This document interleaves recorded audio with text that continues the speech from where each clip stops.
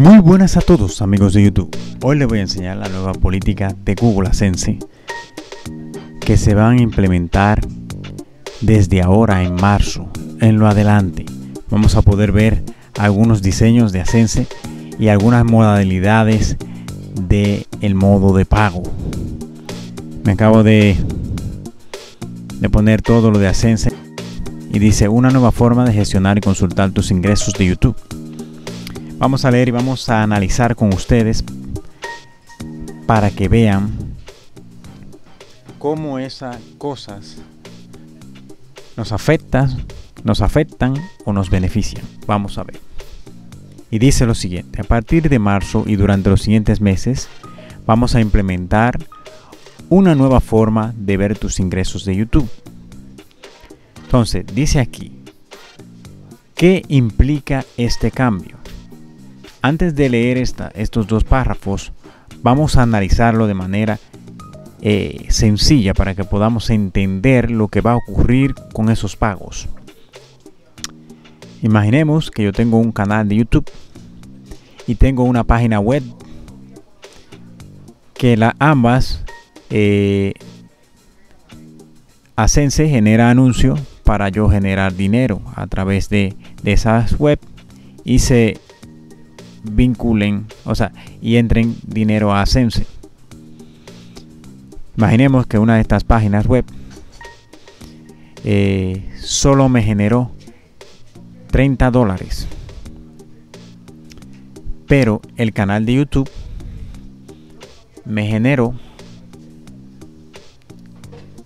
70 dólares para una suma de 100 dólares que cuando llegue eh, al umbral que es 100 dólares me iban a pagar, independientemente las páginas que yo tuviera vinculada a mi Google AdSense. Pero esta política nueva dice lo siguiente. Si yo tengo mi página web, me generó 30 dólares y mi página de YouTube generó 100 dólares, pensaremos que tenemos 130 dólares. Sí, tenemos 130 dólares pero el que llegó al umbral de cobro es el canal de YouTube que tiene 100 dólares. Por el contrario, mi página web que solo tiene 30 dólares, voy a tener que esperar hasta que llegue al umbral de 100 dólares para poder retirar mi dinero. Y eso es la política nueva. Y vamos a leer aquí. Dice, solo recibirás ingresos de YouTube. Se reflejarán en una nueva cuenta de pagos de YouTube a lo que podrás acceder desde tu página de pago, como lo hacemos siempre, en caso de que recibamos solo de YouTube. Recibes ingresos de Ascense procedentes de YouTube, como lo de las otras propiedades, en vez de que todos esos ingresos estén agrupados, como le decía anteriormente, que ambos ingresos, 30 dólares más 50 dólares de canal de YouTube, son 80 dólares, ya no vamos a poder agrupar esos pagos.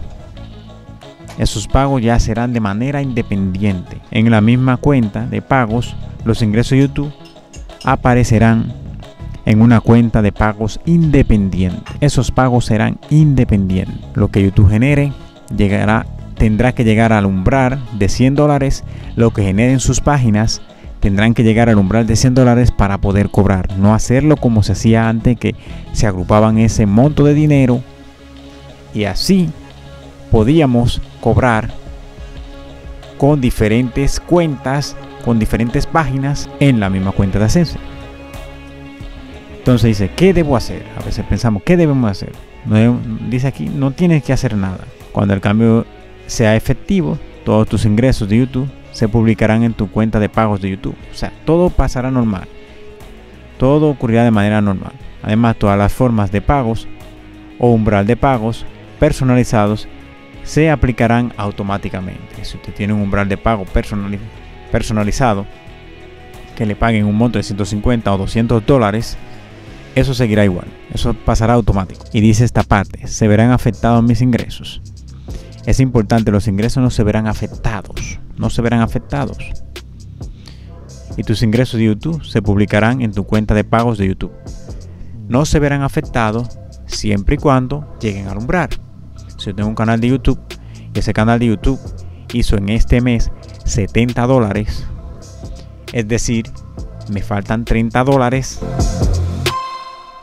para poder llegar al umbral de pago. Entonces voy a tener que esperar que el otro mes haga mínimo 30 o 35 dólares para que el siguiente mes, el día de pago, me desembolsen ese dinero. Y dice, se te seguirán abonando los pagos cuando tu dinero alcance el umbral de pago. Siempre se, se, va a abonar. Siempre se van a abonar ese dinero de pago.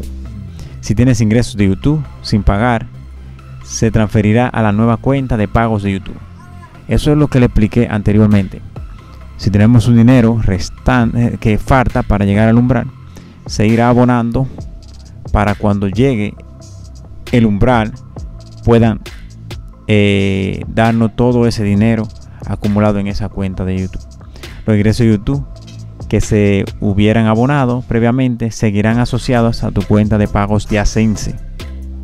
Seguirán asociados a Asense. Y esa es la cosa que pasa. Esta es la nueva política de Google Asense.